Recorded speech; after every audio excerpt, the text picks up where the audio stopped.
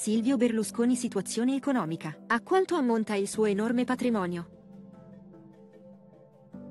È arrivata la notizia della morte di Silvio Berlusconi, ufficializzata dopo molte indiscrezioni in seguito al suo ricovero all'ospedale San Raffaele di Milano. Erano stati riscontrati dei valori alterati legati alla leucemia di cui soffriva, e purtroppo la situazione non è rientrata. I figli si sono riuniti all'ospedale ed è arrivata poi la notizia dell'addio dell'ex premier ed imprenditore, volto famosissimo in Italia ed anche all'estero. Ora in tanti si chiedono a quanto ammonta il suo patrimonio, in vista della suddivisione che dovrà inevitabilmente esserci. Anche se non si conoscono le cifre esatte, ciò che è certo è che Berlusconi era stato inserito nella lista dei miliardari d'Italia da Forbes, nello specifico al terzo posto. Solo nel 2021, d'altronde, Fininvest aveva dichiarato un fatturato pari a quasi 4 milioni di euro. Inoltre fino al 2017, Berlusconi è stato proprietario del Milan, esperienza che gli ha sempre dato delle grandi soddisfazioni, e di cui lui ha sempre parlato con entusiasmo. Nel 2017, la squadra venne ceduta per 740 milioni di euro, al netto di un debito di 220 milioni, e questa cifra andò ad aggiungersi al patrimonio già molto ingente della famiglia Berlusconi.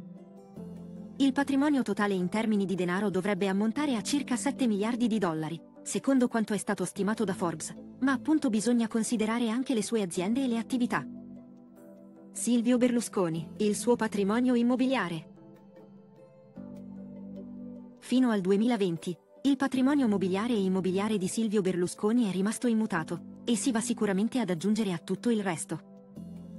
Tra le abitazioni, nel 2021 è rientrata nella dichiarazione dei redditi dell'ex premier, la Villa Maria di Rogoredo di Castelnuovo, una casa ad Arcore.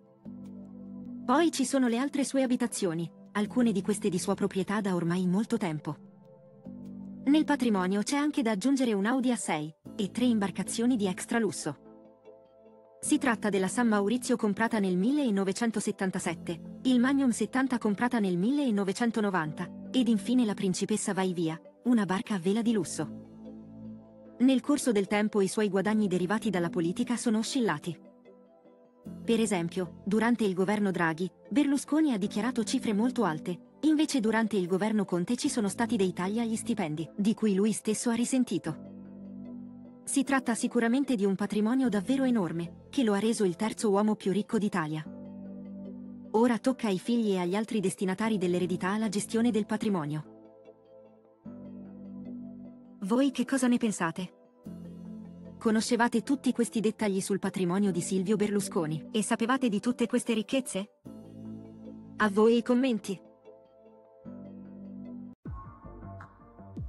Se il video ti è piaciuto, metti mi piace e iscriviti al canale per ricevere gli aggiornamenti.